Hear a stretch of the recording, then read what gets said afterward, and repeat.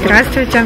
Я из города Харькова, зовут меня Дарина Момот. Картина, которую я здесь рисую, это прежде всего впечатление. Впечатление, которым хотелось бы заразить зрителя, при виде которого он бы вспомнил э, пережитое им подобное.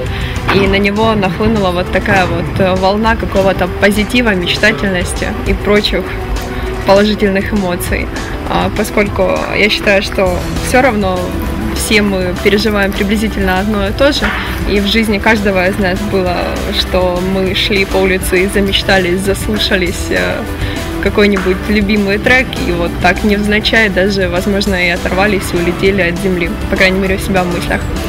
Вот, и поэтому хочу подарить жителям Каменца э, немножко таких положительных эмоций. Надеюсь, очень-очень сильно надеюсь, что кому-нибудь она зацепит и кто-нибудь проникнется.